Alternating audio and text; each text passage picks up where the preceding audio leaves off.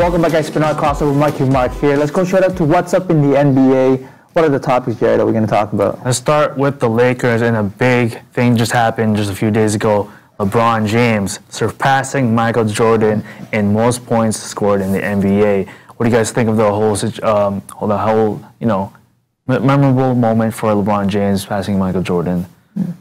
To me, it's it's the fact that when he started in the league, he was known as the guy that can just do an, an all-around game. A lot of people have recognized him as a, guy that just gets everyone involved, a guy that makes everyone better. He was more of a prototype coming out of a Magic Johnson rather than a Michael Jordan. But to see him surpass, you know, in terms of Michael was known to be a scorer. Michael was known to be a go-to guy and, and, to get buckets when you need him to. And for someone like LeBron, who was known to be an all-around making everyone better, a, a, gifted passer, IQ level really high. To be able to surpass uh, Michael Jordan just says a lot about how good LeBron has been consistently throughout the past decade. He's been almost the best player in, for about a decade, mm-hmm. which is a very long stretch for a player to have. I mean, a lot of players have never been able to, and then not even. I mean, Jordan was great, but he was he had a stretch where he took a break, and, and Magic Johnson was great, but there, um, it never lasted for at least a decade. And LeBron just goes to show in terms of how gifted he was in terms of his body, his work ethic, his all-around game, his IQ. And um, as much as I'm not a big fan of LeBron, you just have to respect the fact that to be able to be known as a passer and, and not known to be a scorer and still be consistently be in the conversation and surpassing the, the person that we've all known to be the greatest scorer of all time, that's just impressive to me. Yeah. yeah.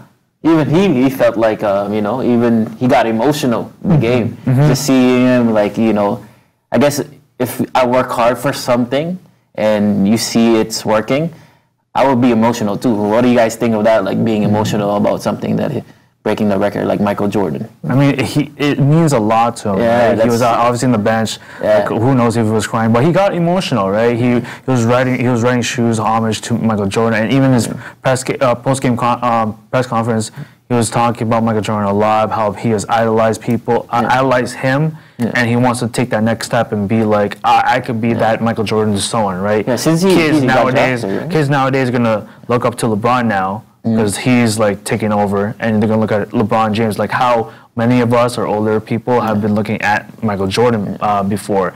Um, and then I just want to. I know like the game didn't uh, have a good outcome, but I want to see a, a, bigger reaction when LeBron James, hopefully, and he probably will be the most uh, make that mark where he scores the most points in the NBA and pass, surpass Kareem. Now, that's going to probably happen. That's going to be hard. But yeah, it's going to be hard, but I think he's going to make it. He has, he has that body. Yeah. I mean, he's going to be able to do it with his health and everything. Yeah. But well, Kareem had like a long career. He had like 20 years, 20 something years. So yeah. that's and LeBron is on his thir- uh, 16, right? Mm-hmm. So.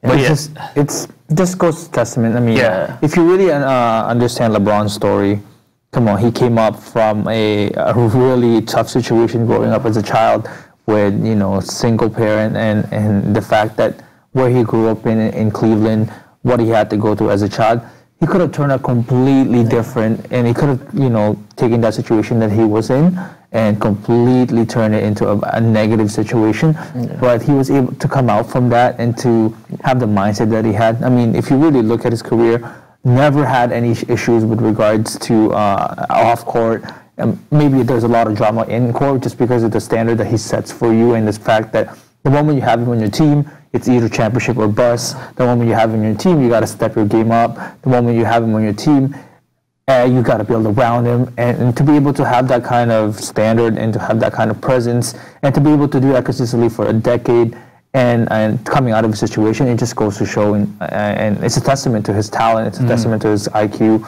his mindset, and his approach to the game, and it's something that I think a lot of kids nowadays are going to look up to mm-hmm. because the fact that to be to him to be able to grow up in that situation and still come out on top and still be someone of a role model mm-hmm. to a mm-hmm. lot of kids, starting his own school, I mean, opening up in a school, it's just on on off court. He's done probably one of the most impressive things uh, aside from his basketball accolades. I know. Adding towards what you, you talked about how controlling the, his decade throughout the NBA career. I mean, he technically kind of carried most of the, his teams he's been on, mm-hmm. right? he carried the Eastern Conference. He took over the Eastern Conference Finals. That like the Eastern Conference Finals should be LeBron's finals. Like He made eight times it a should- Yeah, basically. Um, he carried his team. He, like that one, the Cleveland uh, win, the first championship for Cleveland in almost a century, right? Yeah. Um, he even said, like, uh, in, in an episode of his The Shop, I guess, um, he's like, after that win, cementing it, like, finally grabbing a ring for or championship for Cleveland,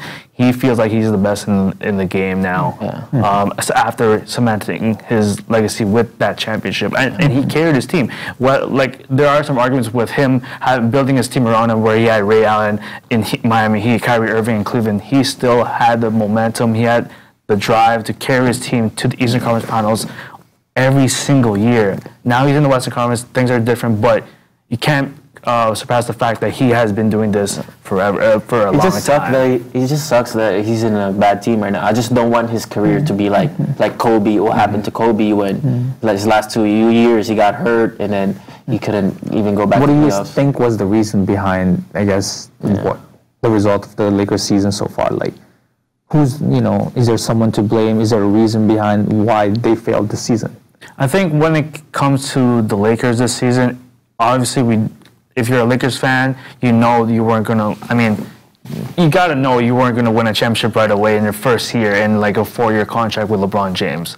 Um, I think the drama with the trade situation with Anthony Davis and the rumor or the spillage of all these players for this one piece in New Orleans, I think that broke up like a chemistry or team bonding wise uh, with the Lakers. And you can see now it still hasn't really uh, worked out. You can see in the, the game against Denver a few days ago, Rondo wasn't sitting. He wasn't really sitting with, with his teammates, right? So you have to be. Marcus Jackson even said on the telecast, someone has to step up, be a leader. It ha- maybe it could be LeBron, it could be someone else, Luke Walton.